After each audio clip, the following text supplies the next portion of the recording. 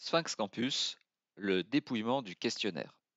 Nous allons maintenant prendre une enquête qui a été complétée par de nombreux répondants. Donc je vais revenir sur l'accueil.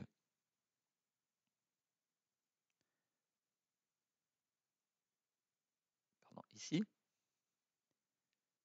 Et puis choisir une enquête qui, elle, contient de nombreuses réponses. Nous allons prendre l'enquête télévision qui va nous occuper tout au long de, nos, séances de cours.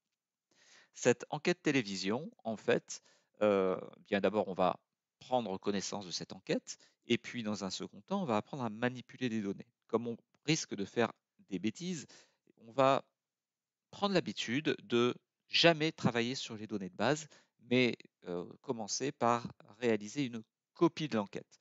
Donc en fait, je vais faire précédente, et puis je retourne dans mes enquêtes, et là, l'enquête télévision, qui se trouve ici, qui est la dernière enquête que j'ai réalisée, je vais peut-être la dupliquer. Donc je vais passer dans Avancer, et j'ai diverses possibilités. Hein. J'ai importé, rassemblé, exporté.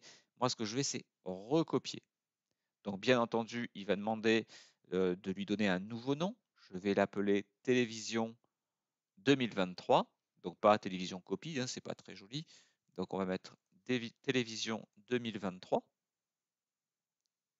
Et puis, je vais demander à copier les réponses. Ainsi, j'aurai l'enquête brute, mais les 400 et quelques réponses avec. OK, cette copie se réalise.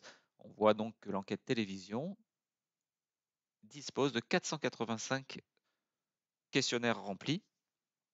L'enquête télévision 2023 comporte également 485 réponses données. Donc si jamais je fais des bêtises sur télévision 2023, je prends l'enquête, je la jette et je refais une copie de télévision.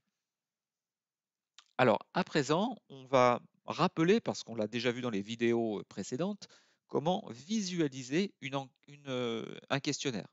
Donc, c'est important de prendre connaissance quand même de cette enquête télévision. Donc, je vais cliquer sur Données. En cliquant sur Données, je me retrouve avec mes 485 réponses. Donc là, on voit un gros tableau avec chaque questionnaire qui se trouve en ligne.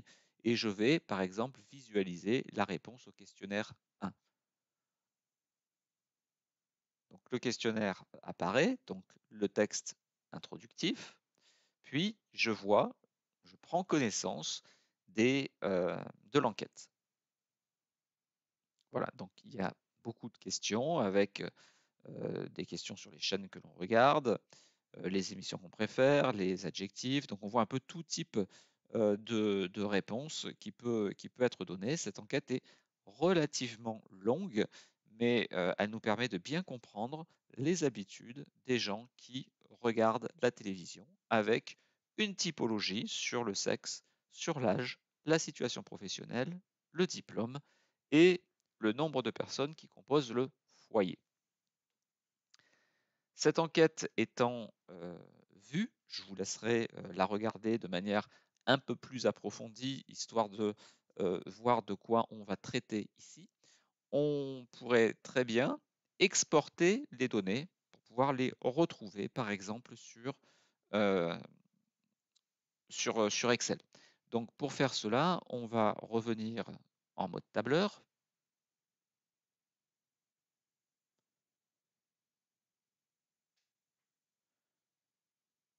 il est un petit peu long. Hop, je vais revenir sur les données.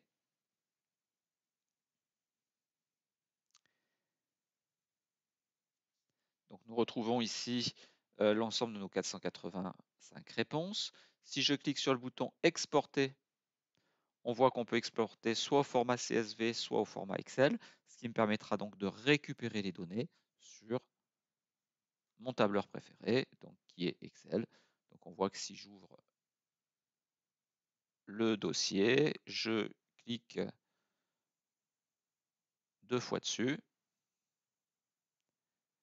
immédiatement, j'ai l'ensemble des données qui apparaissent et je pourrais refaire très facilement euh, euh, des, tableaux statistiques un peu plus jolis si euh, cela m'intéresse ou si Sphinx ne me permet pas de faire ces manipulations. Mais dans le cadre de ce cours, normalement, nous n'aurons pas besoin d'avoir recours à ces outils. Première chose que l'on va faire, peut-être, c'est de regarder le nombre de réponses. Donc, on voit bien qu'on a 485 réponses et que l'on est bien basé sur l'échantillon total. Il faudra prendre l'habitude de bien regarder ça à chaque fois, car quelquefois, on va créer des strates, c'est-à-dire des sous-ensembles, et on ne va pas travailler sur les 485 questionnaires. Donc, du coup, les réponses risquent d'être biaisées. Alors, on peut également cliquer sur le bouton qui se trouve ici, qui s'intitule Qualité de l'échantillon, qui va me donner des informations un petit peu plus précises. Donc on retrouve bien sûr le nombre d'observations, 485 répondants. On a le nombre de variables, c'est-à-dire de questions que l'on a posées, 35. Et puis on a le taux de remplissage global, c'est-à-dire qu'il y a 91,4% des gens qui ont, commencé à remplir ce questionnaire et qui sont allés jusqu'au bout. Nous avons ensuite un certain nombre d'informations sur le remplissage des données. Donc on voit par exemple les, questions qui n'ont pas été documentées, donc pour lesquelles on n'a pas vraiment apporté de réponse dans les questions, dans certaines questions.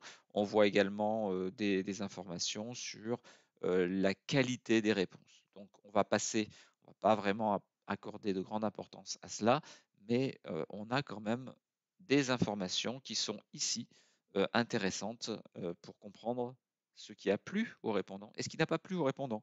Par exemple, il y a certaines questions qui n'ont été que très peu documentées. Je pense que on voit ici. Je pense que cela doit être les questions ouvertes. Voilà, on va, s'arrêter ici pour cette vidéo. J'espère qu'elle vous a plu. Et puis, à partir de la vidéo suivante, nous allons travailler sur cette enquête télévision afin de mieux comprendre le fonctionnement du logiciel Sphinx. J'espère que cette présentation vous a plu. N'hésitez pas à cliquer sur le petit bouton j'aime et à vous abonner à la chaîne.